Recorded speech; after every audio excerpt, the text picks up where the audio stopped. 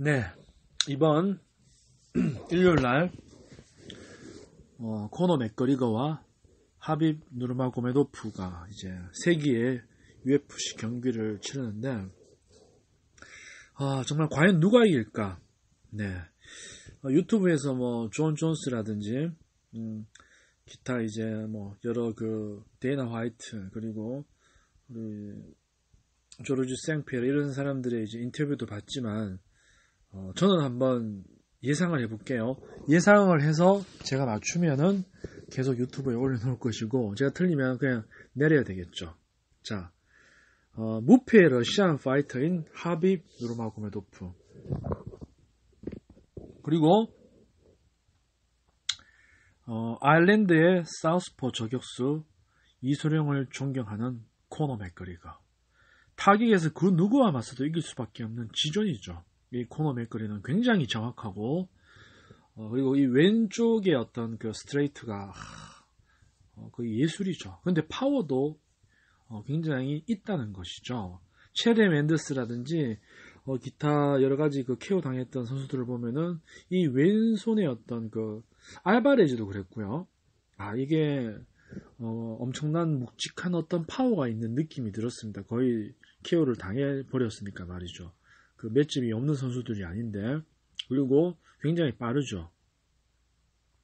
이 코너 맥그리고의 그 왼손은 예술이고 그거를 지탱하는 게 바로 앞손인 그 오른손이 어, 잽이 계속 더듬이처럼 견제를 하면서 리듬을 맞춰주죠. 그리고 앞발차기도 예술입니다. 예.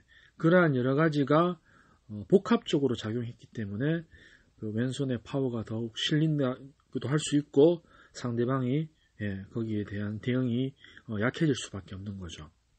하빕 같은 경우에는 어, 존 존스의 말대로 아, 주짓수만 더욱 첨가만 된다면은 거의 이제 무적이 되는데 어, 파운딩으로 거의 해버리죠. 레슬링으로 눕혀서 테이크다운으로 눕혀서 계속 파운딩을 이제 무시무시하게 하는데 연습할 때도 그걸 많이 하더라고요. 그래서 이 예측을 어떻게 해보냐면은 어, 이 하빕은 패한 적이 없는데 과연 맥그리가한테 패할 것인가? 저는 어, 그냥 애매하게 얘기 안 하고 그냥 저는 어, 결정을 할게요. 초이스를. 저는 하빕이 이길 거라고 생각해요. 어, 하빕이 전략적으로 분명히 나온다고 했습니다. 장기전을 끌 것이고 거리를 주지 않을 거예요. 거리를 주면은 100% 타격에서 케어 당하기 때문에 하빕은 무조건 붙어야 됩니다. 음. 그, 그, 얼마 전에 그 누군가요? 아, 그 사람 이름이 기억 안 나는데, 절대 어설프게 타격으로 붙어서는 승산이 전혀 없죠. 하빕은. 어, 리치가 너무 차이가 많이 납니다. 예, 키는 비슷할지언정 리치 차이가 너무 많이 나기 때문에 어, 코너 맥그리거 이런 거랑 타격을 한다는 것은 거의 자살행위죠. 그래서 일단은 어, takedown으로 갔을 때 채드 멘데스의 경우를 본다면은 오히려 테이크 다운을 쉽게 할 수 있을 거예요. 코너 맥거리그가 테이크 다운 방어 실력도 물론 좋습니다. 굉장히 좋지만 어, 하빕한테는 어, 어려울 것 같아요. 그래서 음, 힘을 좀 많이 뺄 것 같습니다. 최대 맨데스 이상으로 빼야지 어, 이길 수 있겠죠. 하빕이. 그래서 파운딩을 할 것이고 어떤 그 체력적인 예, 그런 고갈이 일어날 수 있기 때문에 어, 그 부분에서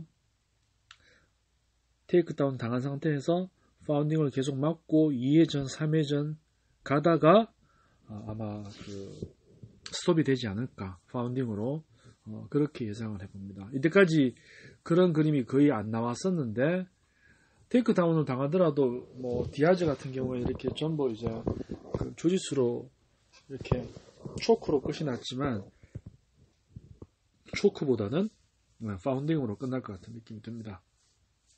물론 코너 맥거리가 이긴다 그래도 어, 전혀 이상하지는 않죠. 하지만 저는 어, 전략적으로 나올 경우에 어, 초반에 어떤 그 펀치 이런 것들만 1, 2점만 1, 2점만 넘길 수 있다면은 어, 하빕이 충분히 이길 수 있는 경기라고 생각합니다. 그래서 저는 일단 어, 하빕한테 걸겠습니다.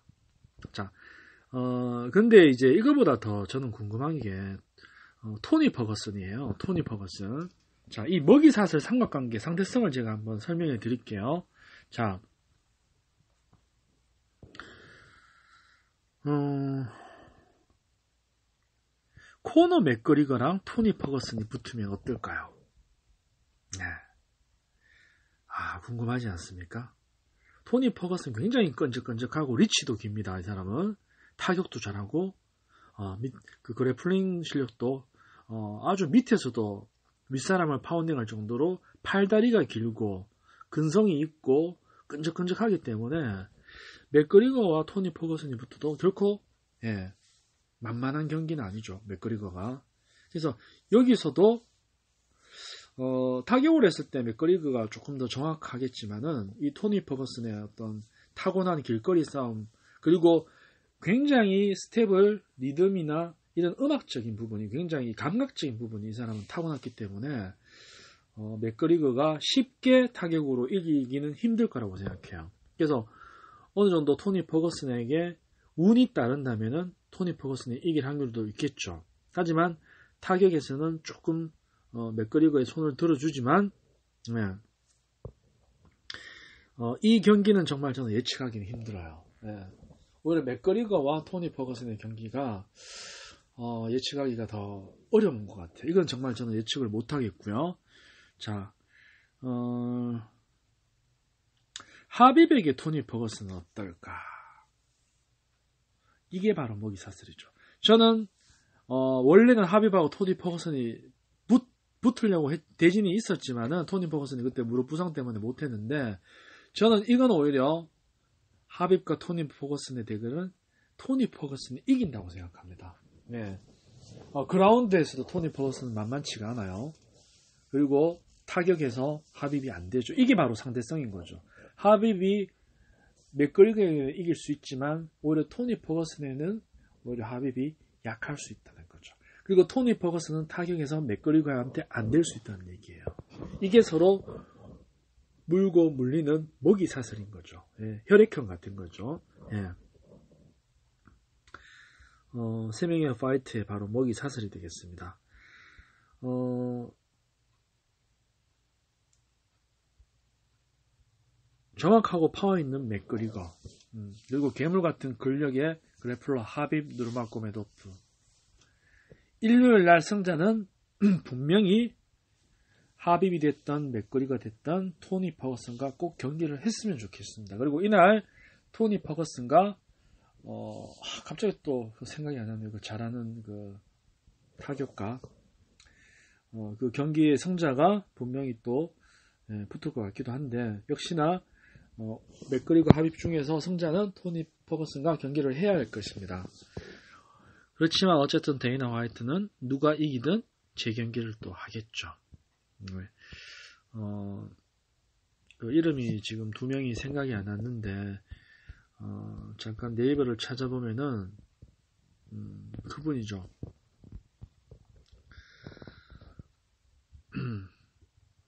그, 토니 포거슨과 이날, 일요일 날, 어, 붙게 될 사람이, 음, 그 잘하는 사람이 있잖아요. 왜. 음,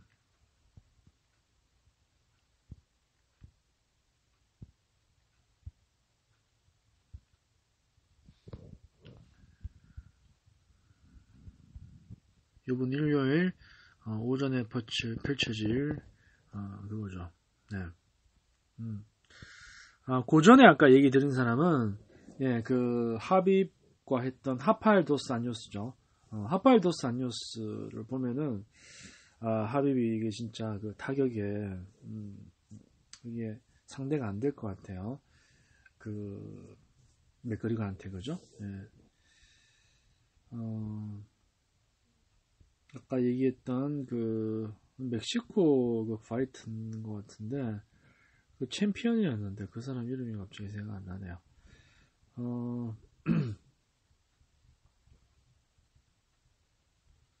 아 페티스, 예, 페티스, 예. 페티스하고 그 토니 퍼거슨에서는 당연히 저는 토니 퍼거슨이 무조건 이긴다고 생각을 합니다. 예. 자 어찌됐든 중요한 것은 하빕과 맥그리거는 하빕이 이길 것이라고 생각하시고 하고 그 승자가 만약에 음, 하빕이 토니 퍼거슨이랑 한다면은 어, 하빕은 어, 생애 최초의 1패를 맥거리거가 아니고 토니 퍼거슨한테 어, 당한다는 생각을 해봅니다. 물론 저 개인적인 생각입니다. 네, 여기서 마치겠습니다. 네, 고맙습니다. 앤서니 페티스죠. 네.